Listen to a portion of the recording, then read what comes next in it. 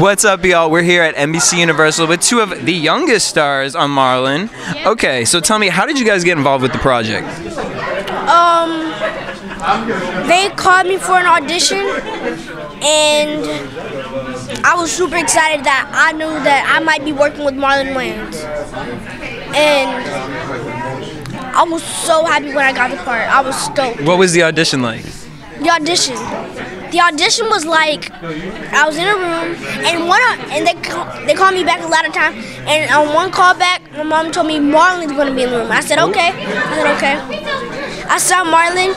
He was just laid back with the with the with the water bottle in his hand. His eyes were red and I said, okay, I can do this. what about you? How'd you get involved? Um, I had an audition, same as him, and um, my brother actually auditioned for the role before me, and then they asked me to come in. And I was just sitting there in the waiting room. Everyone else was just sitting there, and I was like, okay, let me just stay focused. And I held my brother's hand throughout the whole thing, and my brother got me through it. You said what? My brother got me through the whole thing. Aww. Okay, so now you guys are on this show with some pretty big actors, right? So was that inti- were you guys intimidated at all? Did you feel like family as soon as you jumped on the show?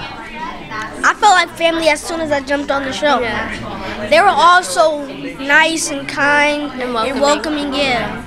And then tell me a little bit about each one of your characters. Okay. My character Zach, he's free going. He's like like his dad. He idolizes his dad.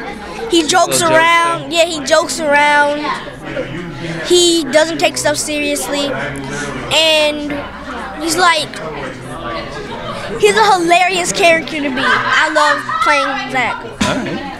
Um, Marley is a independent, hardworking student. She really focused on her, you know, education, and she's a lot like her mom. She's not as outgoing and crazy as her brother and her dad. Are you kind of keeping him in line? Yes, definitely, definitely watching this. It's one. not working, but she's trying.